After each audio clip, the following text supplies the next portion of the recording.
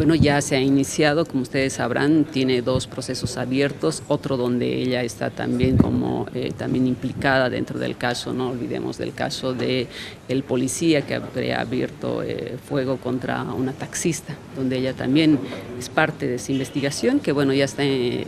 en los últimos días de investigar, ya yo creo que en esta semana que viene ya se presentará ya la resolución conclusiva por parte del fiscal que está llevando a cabo la investigación.